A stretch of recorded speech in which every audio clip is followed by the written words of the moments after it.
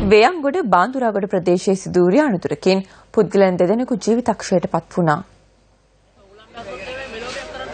පොලිසිය ප්‍රකාශ කළේ දෙව්ලපිටියේ සිට මේරිගම දෙසට පැමිණි යතුරු පැදියක් ලොරි රථයක් පසු කර යාමට උත්සාහ කිරීමේදී ඉදිරිපසින් පැමිණි ටිපර් රථයක ගැටීමෙන් මෙම අනතුර සිදුව ඇති බවයි. අප වාර්තාකරු සඳහන් කළේ අනතුර සිදුවන අවස්ථාවේ යතුරු පැදියේ පුද්ගලයන් තිදෙනෙක් ගමන්ගෙන ඇති බවයි. අනතුරටපත් යතුරු පැදියේ ගමන්ගත් පුද්ගලයන් අතුරින් එක් අයෙකු දිව්ලපිටිය දිස්ත්‍රික් රෝහලට ඇතුළත් කිරීමෙන් අනතුරුව මියගොස් ඇති අතර තවත් පුද්ගලයෙකු ගම්පහ දිස්ත්‍රික් රෝහලට ඇතුළත් කිරීමෙන් අනතුරුව මියගොස් තිබෙනවා. අප වාර්තාකරු පැවසුවේ අනෙක් පුද්ගලයා මෙවන විට ගම්පහ මහරෝහලේ ප්‍රතිකාර තබමින් සිටින බවයි අනතුරින් මිය ගොස් ඇතේ බාඳුරාගොඩ ප්‍රදේශයේ පදිංචිකරුවන් දෙදෙනෙක්.